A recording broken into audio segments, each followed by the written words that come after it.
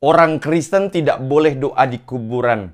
Benarkah demikian? Mari kita cek faktanya. Shalom saudaraku yang terkasih dalam Tuhan. Kembali bersama saya Pendeta Giri Tengker dan kali ini saya akan menjawab pertanyaan yang masuk ke dalam messenger saya yang bertanya boleh nggak orang Kristen itu doa di kuburan karena menurut pendetanya bahwa udah jadi Kristen itu tidak boleh lagi doa di kuburan. Saudara yang terkasih, sebenarnya saya percaya bahwa ketika pendeta tersebut menyampaikan hal demikian, pasti ada konteksnya, pasti ada kisah di belakangnya yang harus kita pahami. Dan saya tidak akan memberikan komentar terhadap kalimat pendeta tersebut karena saya tidak mengetahui secara keseluruhannya. Tetapi inti utamanya coba saya tanya sama setiap saudara. Boleh nggak orang Kristen doa di mobil? Boleh. Kalau doa di ruang makan? Boleh. Di kamar? Boleh. Di kendaraan umum? Boleh. Di kuburan? boleh. Kenapa? Karena kalau saudara pernah pergi ke ibadah pemakaman, penguburan, itu ada pendeta bahkan di situ dan pendeta ngapain di situ? Dia juga doa, betul? Artinya, ketika berdoa bukan masalah tempatnya di mana, di mana pun kita berdoa, selama hati kita sujud menyembah kepada Tuhan dan memang hanya itulah kesempatan, maka kita boleh berdoa di mana saja kalau memang benar-benar sangat terdesak.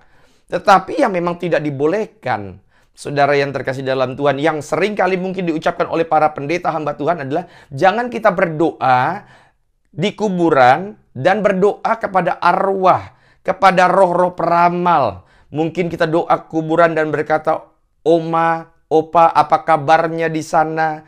Ya, tolong doakan supaya cucumu ini hidup damai. Itu yang tidak boleh. Kenapa?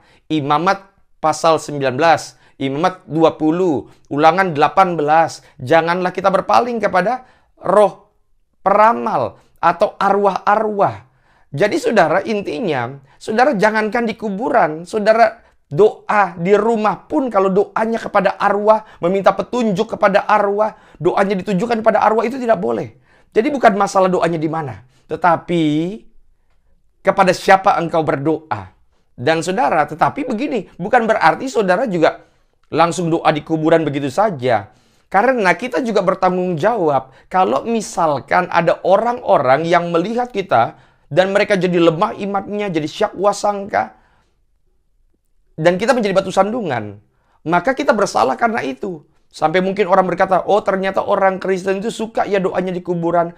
Seandainya dimungkinkan, seandainya Bapak Ibu masih sempat, cobalah doanya di rumah. Begitu kan? Kalau misalnya malam tahun baru punya kebiasaan kita kumpul di kuburan, jauh lebih baik saudara doanya di rumah, ngumpul di rumah sehingga benar-benar bukan hanya berdoa tetapi juga menaikkan lagu-lagu rohani, lagu-lagu liturgis kepada Tuhan Yesus.